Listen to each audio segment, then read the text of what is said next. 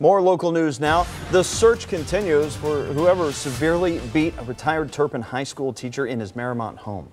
That's right. Investigators continue to work this case hard, but the chief, the police chief, and members of the community want this one solved. Nine on your side, Tom McKee says that is where you come in.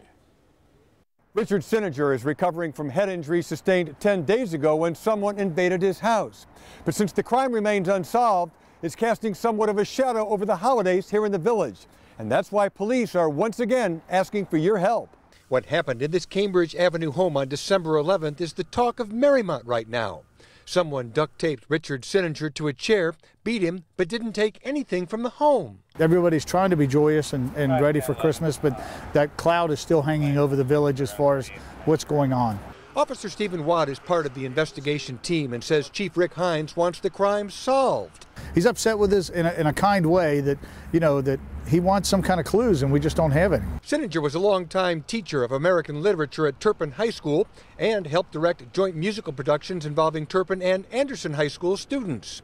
He carried that love of music and the arts with him as a member of the Anderson Hills United Methodist Church. Whenever we had a music program, Dick would be here. Pastor Mark Rowland says Sininger was very active in the church, which was attended by many of his students. He worked with, in our youth ministry, and again, the students uh, all loved him.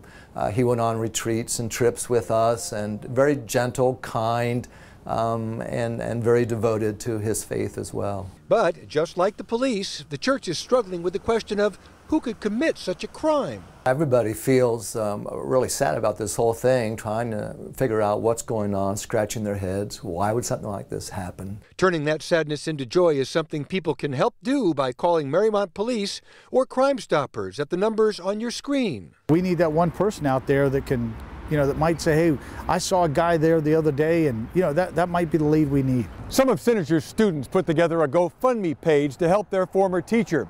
But I'm told since he's a very private person, he politely asked them to take it down. Tom McKee, Nine on your side, Mariemont.